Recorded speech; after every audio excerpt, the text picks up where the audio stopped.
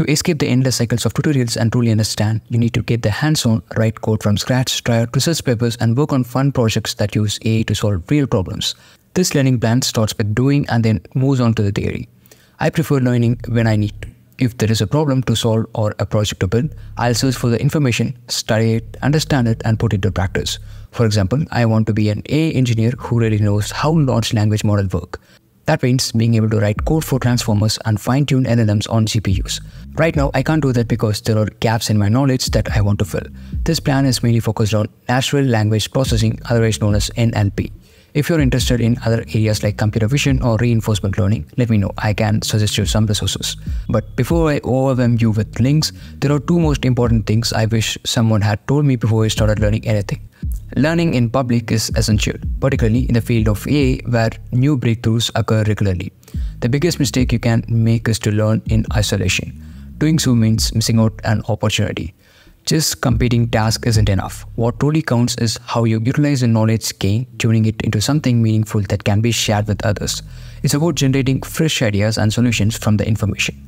Therefore, it's crucial to learn in public. This involves developing a habit of creating and sharing. It's really important to roll up your sleeves and learn by doing. You should start by creating AI algorithms from scratch, tackling projects where AI can solve real-world problems and mingling with AI community on social media. When it comes to learning, I'd suggest you starting with the big picture and then getting into the nitty-gritty details. A big part of this learning focuses on natural language processing, which is about teaching computers to understand human language. But here's the deal. To really dive into AI, you need a solid math foundation. Think algebra, calculus, probability, and statistics. These are the basics that help you understand how AI and machine learning works. And if you're wondering where to learn all this math, just check out the link in the description. I suggest you some online courses, books, and articles so you can make use of it. When it comes to programming language, I'd prefer you Python. Python programming is a go-to language for diving into AI. So I recommend kicking things off with beginner's course if you're new to Python or jump into something advanced if you got some experience under your belt.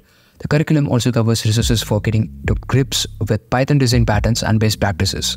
Once you got a handle on Python, the next step is machine learning. I'd suggest starting with concise machine learning book around 100 pages or so and then rolling up your sleeves to implement those algorithms from scratch. I'd also suggest you getting involved in AI competitions to put those new profound skills to test. After mastering machine learning, it's time to dive deeper into deep learning.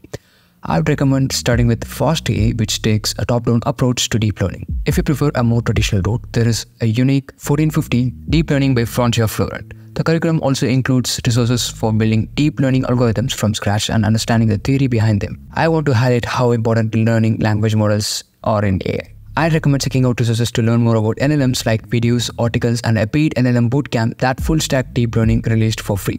The roadmap also includes resources for building LLM application for real-world use. You can watch talks by experts like Andrew Ng, read insightful blog posts by folks like Huyen Chip, and use the OpenAI cookbook for practical tips.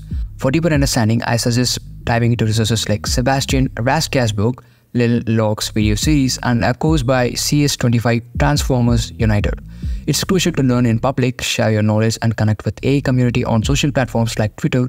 I have included resources to help you stay updated on the latest in AI, such as following AI resources on the Twitter, joining AI Discord servers, and subscribing to AI newsletters. For more detailed explanation, feel free to check out the blog, and if you want to connect, you can find me on LinkedIn and Twitter.